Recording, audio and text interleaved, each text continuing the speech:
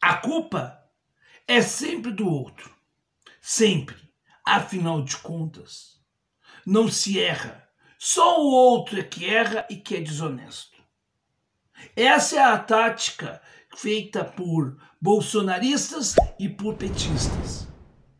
Sim, porque os bolsonaristas né, ah, colocam a culpa de quem? No preço alto dos combustíveis, do preço alto dos alimentos. A ingerência na Petrobras por parte de Bolsonaro é culpa de quem? Do Divino Espírito Santo? Obra do comunismo que invadiu a Petrobras, o comunismo dos sócios minoritários que pintam e bordam e que Bolsonaro não faz nada.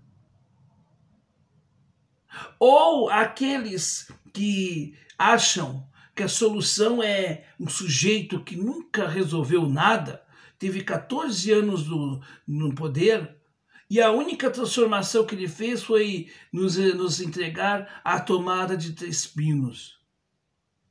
A culpa do Bolsonaro ter sido eleito foi porque o povo não quis votar no poste que eles colocaram para perder e para deixar o Brasil sangrar para que eles voltassem supostamente em 2022.